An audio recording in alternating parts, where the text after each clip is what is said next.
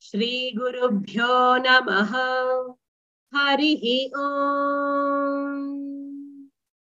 Shanti first bus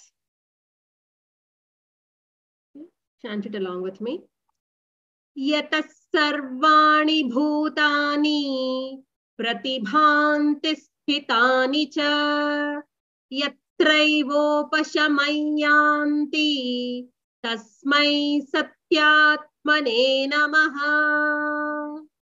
This is what we saw in the last class, right? We, that we all come from that source. So there is a so uh, there is something which is getting manifested, sustained, and goes back to it. Right? So we, we saw that even in the um, Taittiriya Upanishad, right? Yeah, that beings are born and then they live, and when they depart, they go back. And what they go back to is Brahman. Yeah, so we'll go back to the verse 1.2. ज्ञाता ज्ञानं तथा ज्ञेयम् द्रष्टादर्शनदृश्यभूः कर्ता हेतुः क्रिया यस्मात् तस्मै ज्ञस्यात्मने नमः So this is a very deep sloka. It's a deep verse. So the, the overall meaning will go deeper into this because this needs to be dealt with um, you know, in a very detailed manner. Here it says that he is the knower, the knowledge, all that is known. He is the seer, the act of seeing and the seen. He is the actor, the cause and the effect. Therefore, salutation to him, who is all knowledge himself. Seems to be that logically, yeah, everything is God. That is what it means isn't it? But let's go deeper into this. Okay, so what does it mean to understand what is knower, what is knowledge, and what is known? So, in uh, Vedanta, what we say is the understanding of the whole of understanding of the true reality is understanding knower, knowledge, and the known. Now we can say, yeah, every, since if everything is Ishvara, then everything is Brahman, then why to go in detail? But logically only we have understood it. Isn't it? Experientially, we have not understood it. Can you say whatever is there around is all Ishvara, all Brahman? It is not possible, isn't it? We are again getting into that, that logically we understand whatever we are telling now but then the moment when we start implementing it is not. So we have to uh, do a lot of mananam. We have listened. Shravanam is happening. But then as you keep listening as you keep knowing it and then doing the reflection on it then it slowly starts to sink in that everything around us is also brahman. Okay, so how do we go into it? We'll see the knower first. Knower is the jnata. Knower is jnata. So what is the knower? The knower is the subject, the observer. Observer is the knower. Yeah, look at it from not from Ishvara. Look at it from yourself first. Okay, so once you understand yourself first, then you can put it to everything around. Okay. So always you start with your part, not the God's part right now. So that it is easy for us to understand. Because otherwise, Vedanta is a very tough thing to understand. What is knower? What is know, knowledge? You know, it seems very um, uh, dictionary meaning we get to know, but not the uh, the subtle meaning. So the knower means the subject the one who is observing. Yeah, you can call it as our own individual consciousness. So right now, if you look at it, when you look at it, the drishya also, then we will see what is looking at it, how is it, all that we'll go in detail. But first, let's understand the knower knowledge and the known first. Okay. So the knower is the jnata, refers to the observer. So if I am the one who is observer, I am the jnata now. I am observing the screen. So I, this I is that observer. I am the jnata. And who perceives and who experiences the world. So I am seeing you. I am seeing, okay, these are the people who are there. Yeah. And I'm experiencing it. Yeah. So I become the jnata or the knower. Now, when we go little deeper, we will go a little more into the, uh, uh, the from the gross to the subtlest. Okay. So what is it that is eternal and unchanging? That is what is the observer. Now, if I'm looking at it uh, the, from an external point of view, I'm telling that my eyes are the ones who are seeing you people. But is my eyes really seeing or is it that observer which is, which is within me is seeing it? Difficult to understand? Yeah. So let's first go to, we'll come back to this. I think then uh, first we will see the drik drishya. Then I think we will be able to understand it a little more better. And then we will come back to this knower thing. Otherwise, it's a little difficult right now. Okay. So, okay. So we'll let's see this particular shloka. Then we will understand it. This is from Drigdrishya Viveka, first shloka. Rupan drishyallochanan dhrak tadrishyam draktu manasam. It's manasam, okay? So typo there. Drishyadhivrita dhivritya sakshi Drigevana to drishyate. Okay, not required to you know go through the uh, memorizing part of it, but just understand it. Okay, Rupam, Drishyam, Lochanam, Drik. Rupam, which is the form. Yeah, now for example, you're taking a flower. The, I am looking at a flower there is a form. That is the rupam of the flower. That is what I am seeing. Drishyam is seeing, seen. Lochanam is the eyes, is the seer. Understood? This one you understood? There is a flower or there is an any object which is there that has a form that is the seen. My eyes are seeing it. Yeah. So Rupam, Drishyam, Lochanam is Drik, is the seer. Now here, don't look at it only from this. Now say, for example, I am hearing something. You people are hearing my voice. Yeah. So that voice becomes the Drishyam and your ears will become the Drik. So when this Lochanam means I hear, but extrapolated to all the senses. Lochanam or eyes is only the lakshanam. Okay, you look at it from all senses. So you hear something from the senses and we perceive certain things, isn't it? Yeah. So then that is also, so here lochanam is not just the eye. Their literal meaning is eye, but extrapolated to all the senses. Through the ears, I hear and perceive something. Through my skin, I touch something and I perceive something. Through my tongue, I taste something and say, wow, this is sweet, this is salt. I'm able to perceive it. Through the nose, I can smell and say, oh, this is a good smell, this is a bad smell, I can perceive it. Okay, so lochanam is only a lakshanam, it is not the literal eye only. Okay. So look at it as like one of the sense organ. Okay. So here the eye becomes the seer and the form, whatever you're seeing, the object becomes the seen. Okay. Now, you are going a little deeper. Okay. Now, the eye, so here there is only one, look at it as only one. The vision is the same, right? So even if you have two eyes, you're seeing only one object. So one eye, many objects. Through this eye, I can see many objects. Is it clear? So the eye becomes one, objects become many. Yeah. Now let's go one step subtler. Now the eye, what is seeing the eye? So who's telling the eye to see it? It's the mind. Yeah.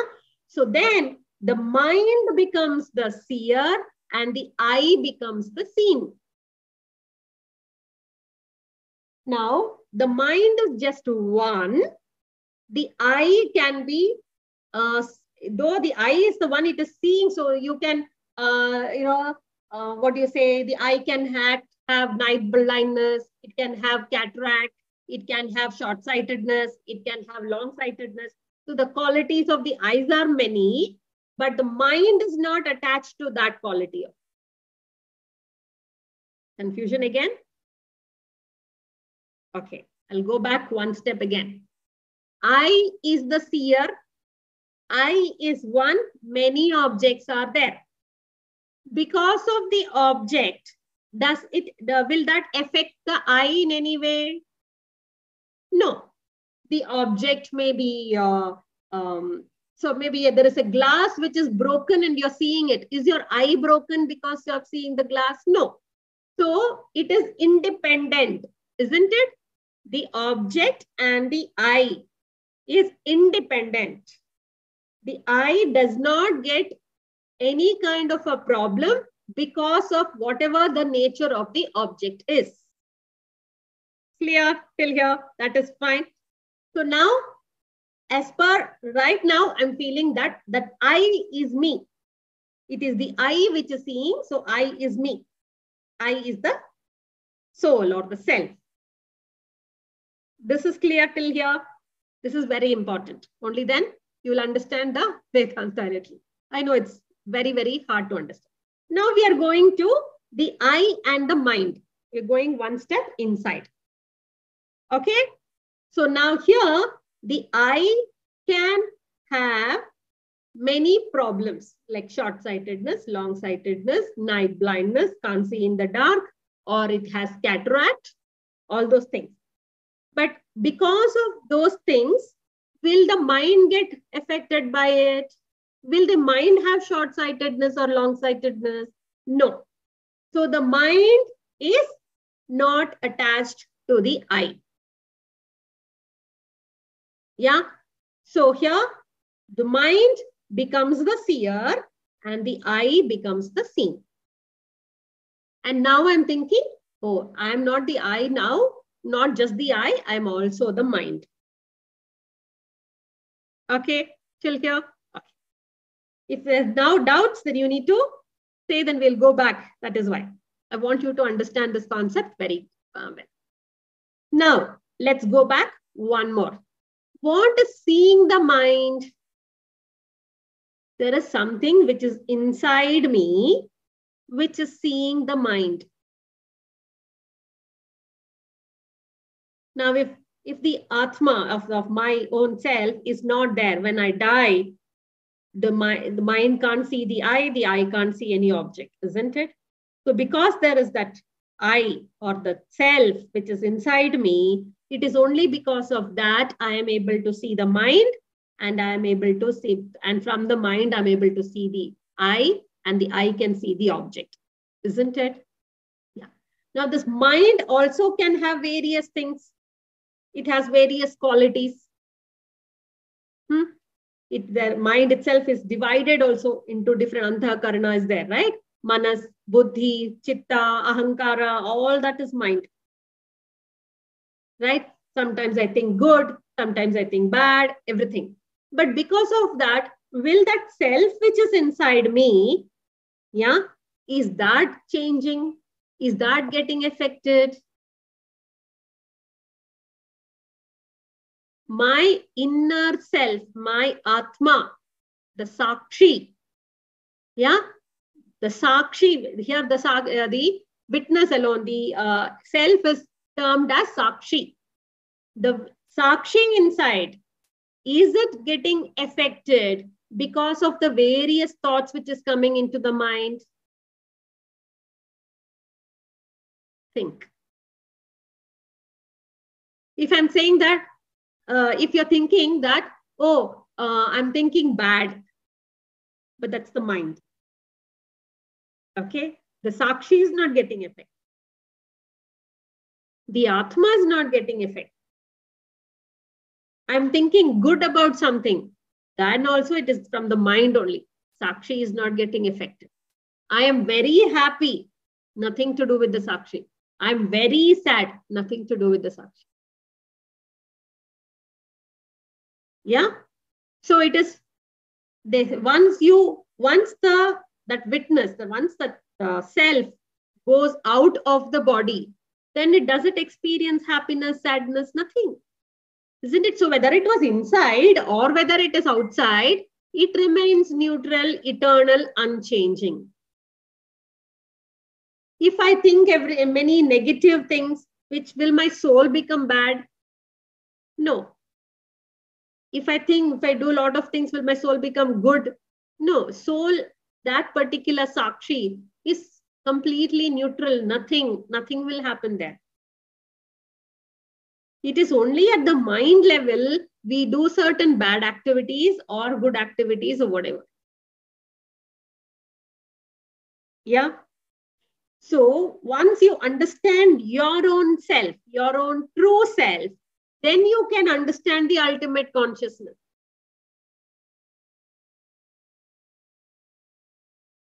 It, so I know it is, it's very, very hard. That's why I'm going on repeating it again and again for you.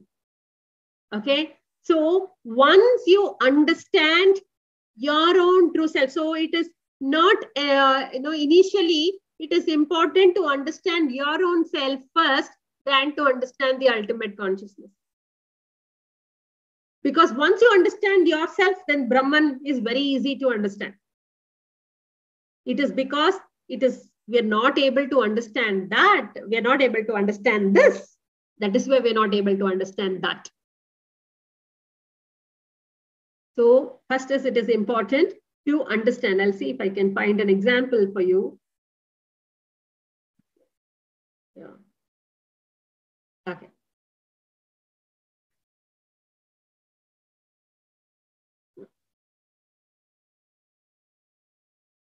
Okay, so here, let's look at it as, now to look at, to understand that the I, the mind, and the Sakshi sorry, the object, the I, the mind, and the Sakshi. You're going from the gross to the subtlest to understand the quality of the mind. Let's understand it from even the knower perspective also. Then you will be able to understand both sitting together. Okay. A person is sitting, so you're sitting in a park. Forget about that, any other person. You are sitting in a park. You're enjoying the beauty of a flower. Okay. Now, who's seeing the flower? First, first the eyes are seeing the flower. Now, is the eye getting affected because of the flower? No. If the flower become is red in color, will your eyes turn red in color? No. Yeah. You are just seeing it. Nothing happens to your eye. Now, we go back one. The eye can, since uh, the eye has a layer, maybe some kind of a infection, and you're not able to see the flower very well. Because of that, does the mind change that part of it? No, it becomes neutral there. Right? It has nothing to do with the blurriness or the clarity of the eye. And now, because the mind perceives a lot of things because of that flower, it can The mind can say, oh, this flower looks beautiful. Or the mind can say, the flower looks very ugly. The flower looks very big. It is not nice. The flower looks very small. It is too tiny. Will that Sakshi inside get affected because of that? No. Now, is it, is it a little more better there? So the Sakshi, which is inside you, the witness who is seeing all the thoughts in the mind, yeah, that alone is the seer. Because there's nothing beyond it. So you have, we go, we go back, we go back and see. So first we see, is, yeah, I, am I the I? No. Uh, then we went to the mind level. Am I the mind? No, because there's something beyond that which is seen, right? Then there is something called as the Sakshi, which is the seer. And that is the ultimate. There's nothing beyond that. Okay. If that is beyond that, then that there is no, since there is nothing beyond that, that alone is the seer and it is not the seen. The rest of the things are all seen. That alone is the seer. Is it better now? Okay. Now, in this, they are telling that he is the seen, act of seeing, and that is to be seen. Now, let's see that you, the witness, the sakshi is you, we have said. Like that is that is the seer, we said. Right? Now, from where is that seer coming? From the ultimate consciousness. Yeah. And from where is that flower coming? That is also part of the ultimate consciousness. So then, what is the, from that point of view, from that ultimate consciousness point of view, this Sakshi and this, the flower, the consciousness in the flower is the same because it's been part of the same. Now, why did I do all these things going around to come back to that same point is, if I had not come back to that, if I had not rounded off like that, will I be able to know my own self? I will only look at it from external. I will say, oh, this is God. That is also God. Everything is God. Over. But we are not looking at our own self then. Because we have to look at our own self, again, now also we have only understood it logically, we haven't experienced it. How do we do the reflection? By seeing every object and looking at, okay, this has been created by the God, like what I have been. I have to go I means not looking at my eye or my body. We are still there. That is why we are not able to really get the hold of this. Through this, we are able to say that I am not the I, that is, I am not the physical body. I am not the mind. I am something beyond that. That is me. Once you understand that, then to perceive other things as that same divine becomes easier. That is why this is important. So go in first, then you will be able to know out. But without knowing the in, we will not be able to understand the out. Yeah, seems very dry and it is uh, you know, difficult to follow it. Now let's follow, let, let's see the um, knower, jnana, sorry, jnata, jnana and the jneya. Then we'll probably be able to know it more better. We'll take the same example of the park, okay? So the knower is that individual person. First, let's go external. Okay, let's look at the body. Then we'll go inside. Okay. The knower is the individual person who's sitting in the park and observing the flower. Okay. So the knower means the awareness within me. right? The awareness is experiencing the flower. I'll repeat again. The knower is the individual person sitting in the park. You, you visualize, then you will know it. Observing the flower. Okay.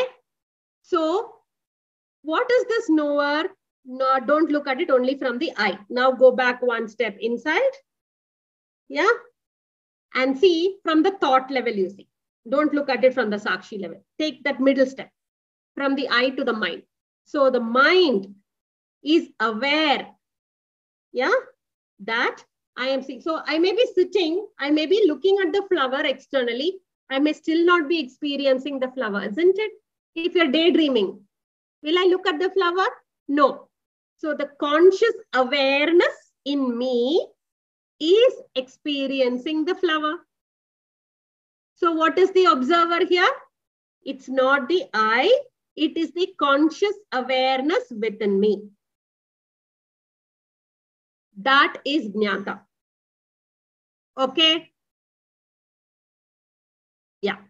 Now let's look at the jnana, which is the knowledge. Yeah. So the knowledge is the perceiving and understanding the flower. So it is a process of cognition, right? Where we, we say that the knowledge will be flowers, color, shape, fragrance, or the overall beauty, everything that we are perceiving it. That is the knowledge. Yeah. So knowledge is the experience that comes when the knower, when the awareness interacts with the flower through the senses and the mind. I'll repeat it once more. So the knowledge, so you understood who is the knower now? The conscious awareness, the sakshi is the one which is experiencing the flower. That is the knower. The knowledge or the jnana is understanding the flowers, color, shape, everything through the senses and the mind. That becomes the knowledge. Yeah. So it is not just the object. Your understanding is the knowledge. So that's like, mm, what is this? Not able to understand. Is it Sudha? Hmm? One, yeah, you're a little distracted also with your grandchild. so it is becoming little difficult. little tough now. okay, it's no, no problem. Okay, I'll again tell you. Knowledge, jnana, is the act of understanding and perceiving the flower. Yeah? Yeah.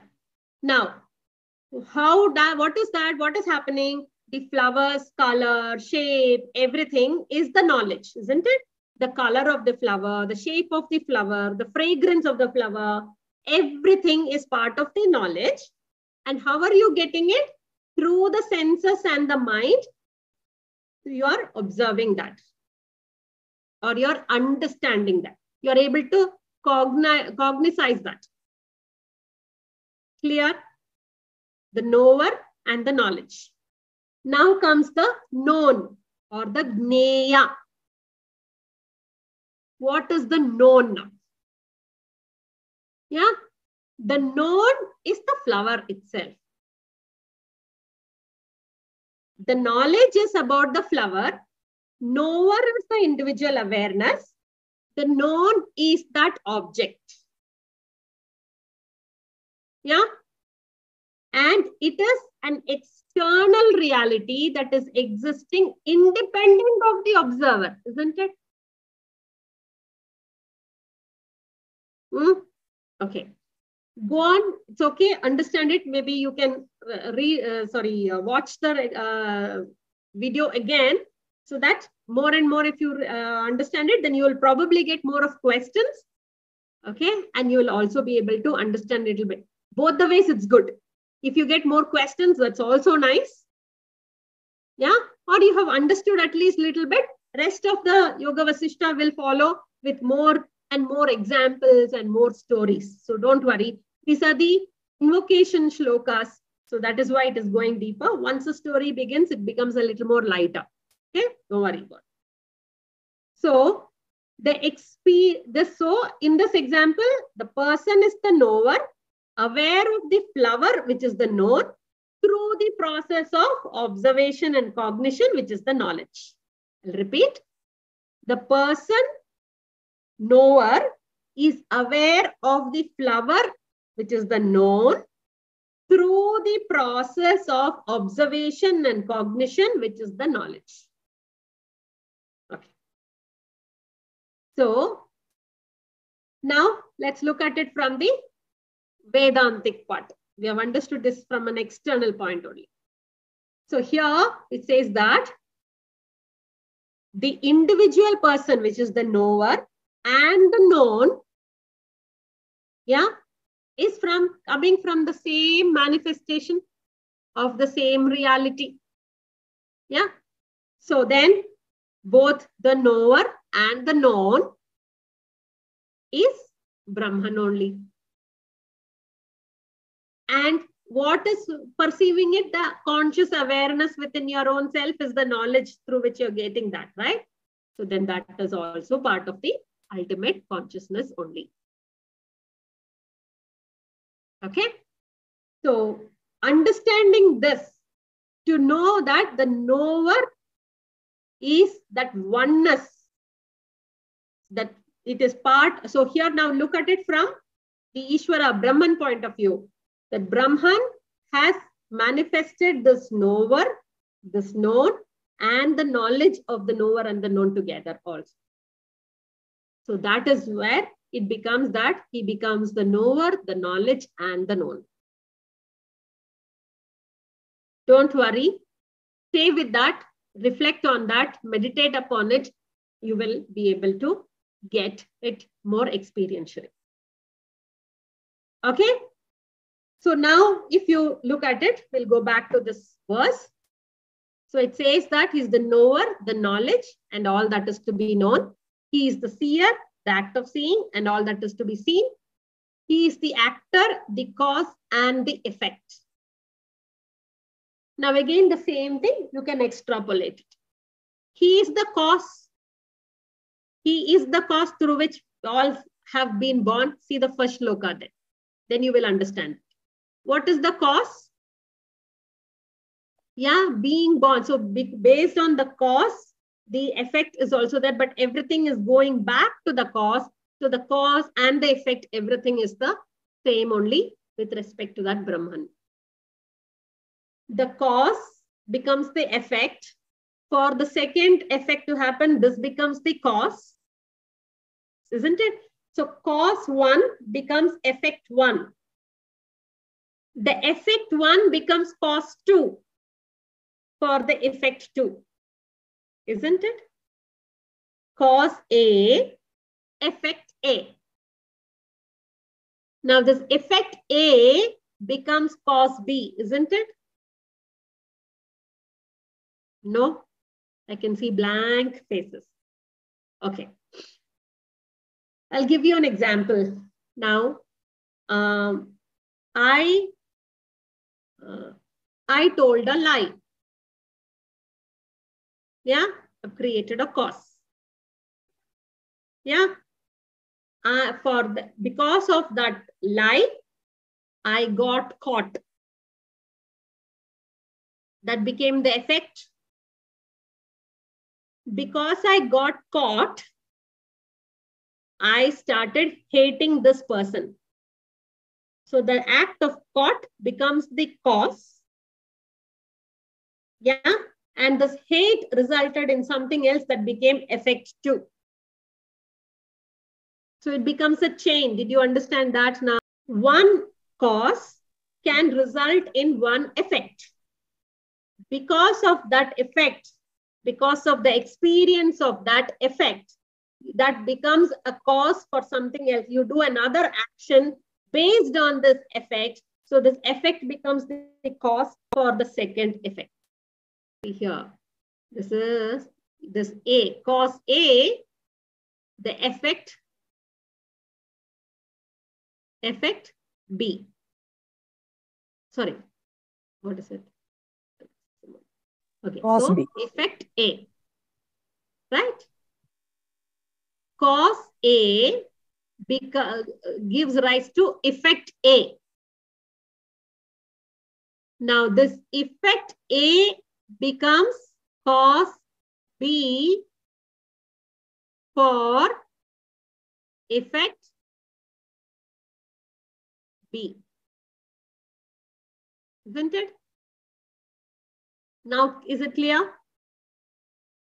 This concept is clear? Okay. Now you see here, when you looked at it, we are being born, we live, and we go back. So this again goes back to cos A. Isn't it? We are being born. Okay, because we are bo being born, there is an effect that we live. And after, because we live and we, we do certain actions, we also dissolute. Or we go back to where we go back? We go back to the cause the cycle of birth and death continues. Yeah. So who's doing all those things or who is responsible for the whole creation? Birth and death is happening, sorry, because of our own karmas. That's a thing. But the overall creation is happening because of a bigger cause and a bigger effect. And who is that cause and effect there? It is Brahman only. Because of that Brahman only, this whole creation is sustaining. In that whole creation of uh, creation, we are being born, we die, we, we are being born, we live, we die. Again, we are being born, we live, we die. In that whole cosmic creation or the whole cosmic cause. This is more very direct one, so don't worry about it. स्फुरन्ति सीकरा यस्मात् आनन्दस्याम्बरे वनौ सर्वेषां जीवनं तस्मै ब्रह्मानन्दात्मने नमः understanding that the knower, known, knowledge, the drik, drishya, everything is coming from the same source, the cause, effect, everything. To that, I give my salutation. I bow down to that supreme Brahman, yeah, from whom the dew flows the dews of delight. That is both everything, whatever is there, the entire creation, the entire bliss, what we are under, we are feeling, all that is because of that Brahman alone, because he is the life. He is the life of everything around us. Okay? Very direct here. Now, actual yoga was that three are just the uh, invocation kind of uh, um, verses. We will do that in every class. Those three we will do it together. Okay. So this is this is like the first verse of Yoga Vasishtha. Okay, the other ones were more of like, like this dhyana shlokams kind. Okay, from here it's very direct because only very few places you will have we'll have to go little more in deep manner.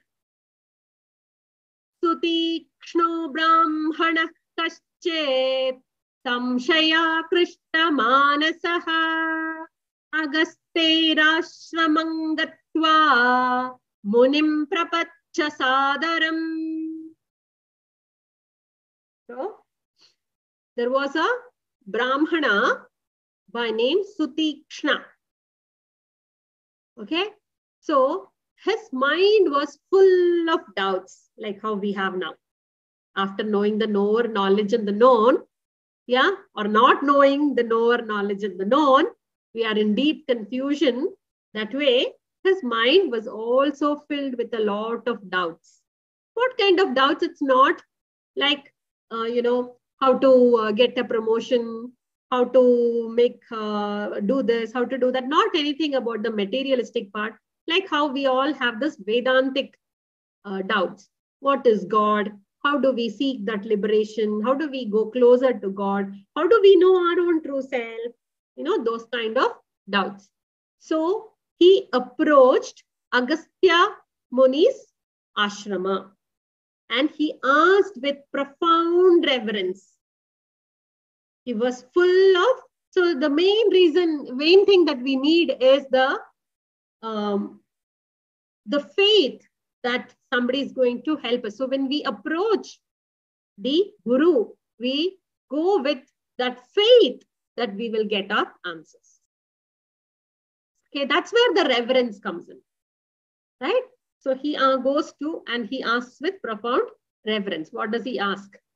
Sutikshna uvacha bhagavan dharma tattvagnya sarvashastra vinischita संशयोऽस्ति महानेक अमेतं कृपया वद So, O sage, you are the knower of dharma. What is dharma?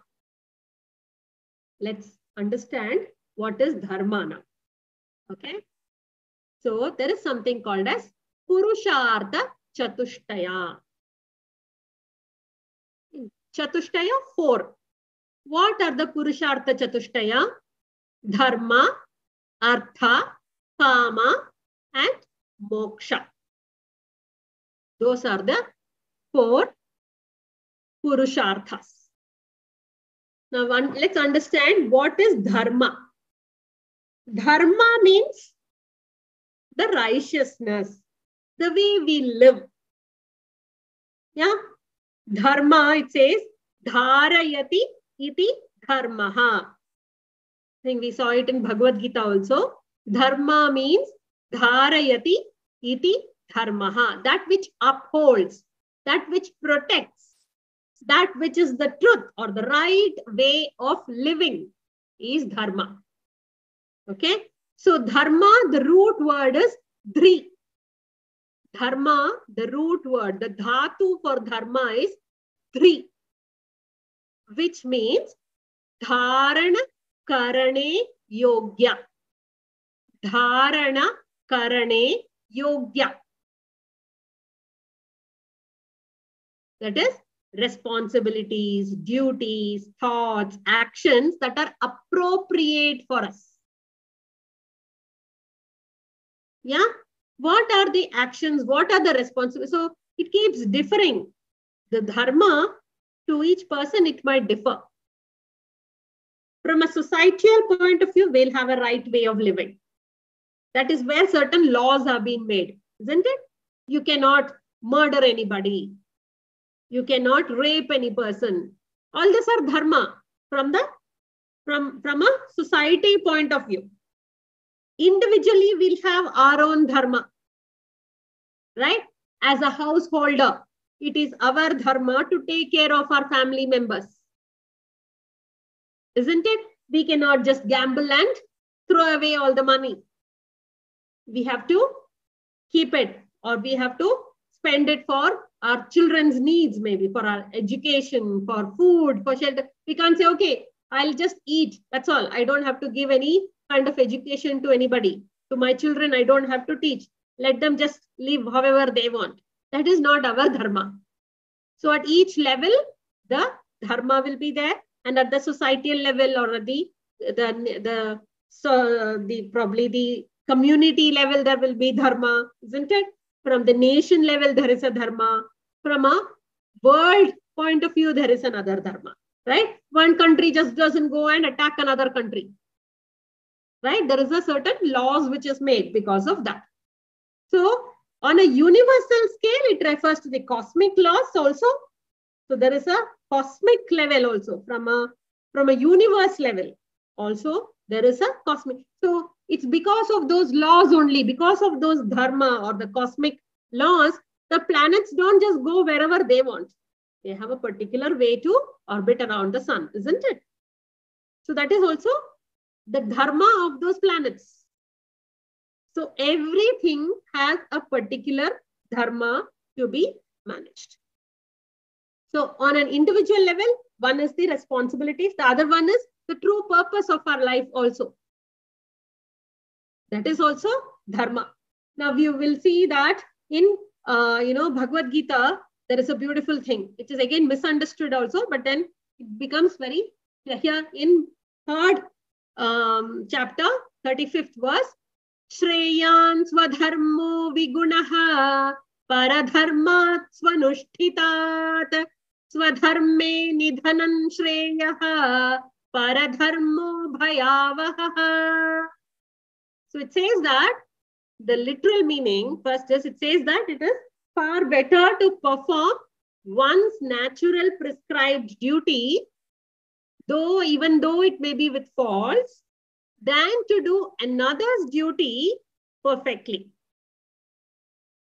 It is preferable to die in the discharge of one's duty than to follow the path of another, which is fraught with danger, it says. Now, this is where a lot of people misunderstood this and said that Krishna in Bhagavad Gita has told about caste system. The varnas are described here. The explanation is given for dharma that we should be only doing our duty. That means Brahmana should be only doing Brahmana duty. Kshatriya should be doing the duty of the Kshatriya. So that is why Vedas cannot be or pujas cannot be done by Vaishnava, Vaishnava, sorry, Vaishyas and Shudras, which is a misunderstood one. What it actually means is, now say for example, your child was is a, is a very good artist. Yeah, it comes very naturally. He paints beautiful pictures. Yeah, it feels as if there is life in those pictures. And as a parent, I will say, you go become one engineer. Yeah. And we, have, we force the child to become an engineer. So what is it now? Will the child be happy? No. Is it doing its prescribed duty? No, actually. It is far better to perform one's natural prescribed duty. Whatever is syncing up with you, whatever you are passionate about, whatever wherein your interest lies. But we give something else, even though it may look very fancy. Oh, I'm working in an IT industry. I will get a huge paycheck. It might look very fancy. But that is what Sri Krishna says in Bhagavad Gita, not to do that actually. Do whatever you are good at. Don't compare yourself with somebody else. There is another one which says in 18th chapter also, he says the same thing. Shreyan Swadharmo Vigunaha, same shloka, the first line is repeated. Paradharmat Swanushtitat स्वभावनियतं कर्म kurvanapnoti kilbisham. So again, doing one's own dharma, even though it is imperfect, than to do another's dharma, even though perfectly. So here, the same thing. By doing one's duties, a person does not incur sin means what? A person will be happy doing whatever it is. So he will do it without really worrying about what is happening to the results. He'll just do it. Now, there are a lot of places where we have seen people who work, um, you know, for a lot, like 13 hours, 14 hours, they're made to work and they get so frustrated, they get so irritated. Yeah. At the same time, you will see somebody who's very, who is a painter maybe, or who is a dancer, who's a sculptor, irrespective of the time. Yeah, sometimes without really feeling hungry, he won't uh, he won't eat anything, he won't sleep anything. He'll say, I want to finish the sculpture. I want to finish this canvas. I want to finish painting this beautiful picture. So there, even though he must be working more than that, maybe he's working for 15 hours, 24 hours continuously also. but he doesn't get any kind of tiredness or he doesn't feel the need to sit down also. So what happens there? It becomes a nishkama karma. There is no karma which he will bring in because he's happy doing it. He's not getting irritated and he's doing it. He's just he's just doing. There is no, uh, you know, the mind becomes thoughtless at that time.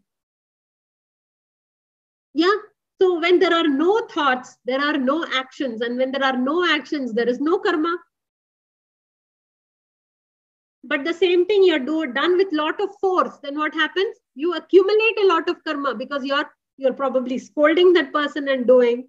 Yeah, you're uh, getting angry for your with your parents for making you do take up uh, you know and uh, become an engineer and do this particular course or job i'm just taking this as an example okay so when you start doing that you start you know whenever you feel that you're tired you're, and your boss says you have to finish this and then only you can go home the the person will start feeling bad will tell you know you know why did my parents make me do this? I wasn't happy.